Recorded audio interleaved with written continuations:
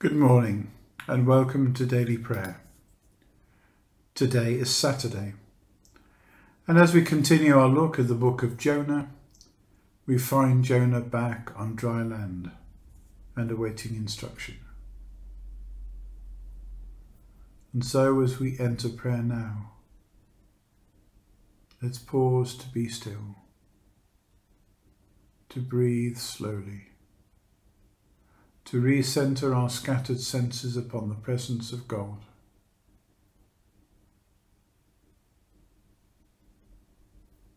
And we begin by reflecting on God's mercy with some words from Psalm 130.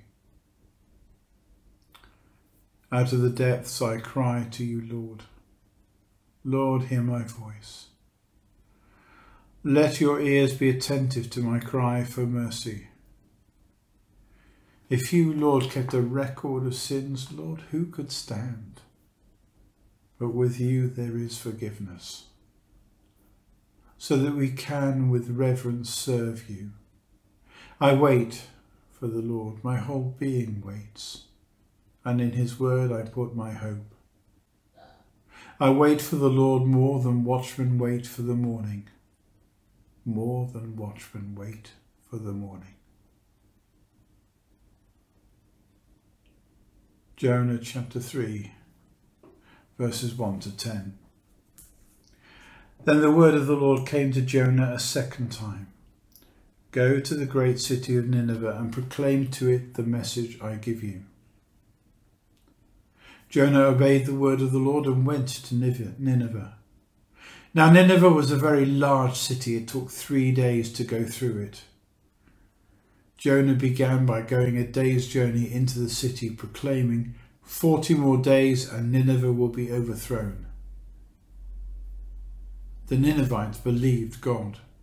A fast was proclaimed, and all of them, from the greatest to the least, put on sackcloth.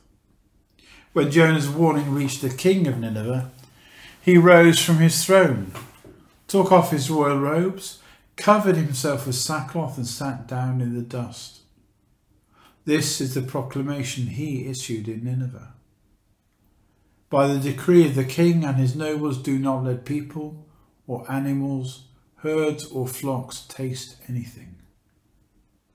Do not let them eat or drink, but let people and animals be covered with sackcloth. Let everyone call urgently on God. Let them give up their evil ways and their violence. Who knows? God may yet relent and with compassion turn from his fierce anger, so that we will not perish.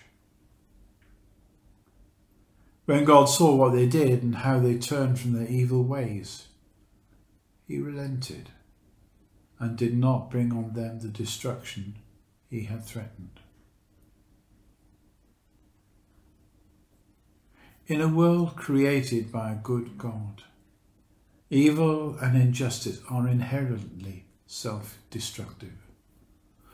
The Assyrian Empire was renowned for its cruelty, injustice and oppression of other countries. And that impulse towards abuse and exploitation was eating away at the fabric of its society. It was rotten to the core. Violence was endemic and poisoning social relationships. Jonah preached the imminent destruction of the city of Nineveh.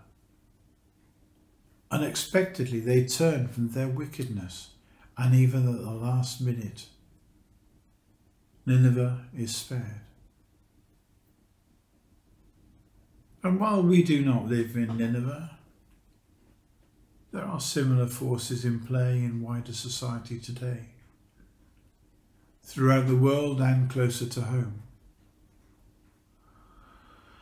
Those same forces may also be at play in our own individual lives. If we do not do right, as it says in Genesis 4, Satan crouches at the door.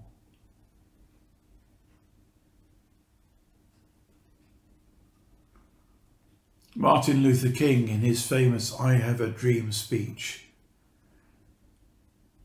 in the face of massive racial discrimination, quoted scripture and called on society to let God's justice roll down like waters and righteousness like a mighty stream.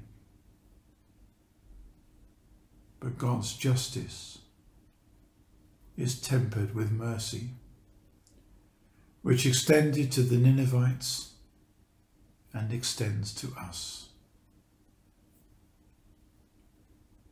So, as we turn to God and away from sin, let's pause and pray for God's justice and mercy to roll down like waters. And may God give us a vision of what that will be like for the world and in our own lives. In the name of Jesus. Amen.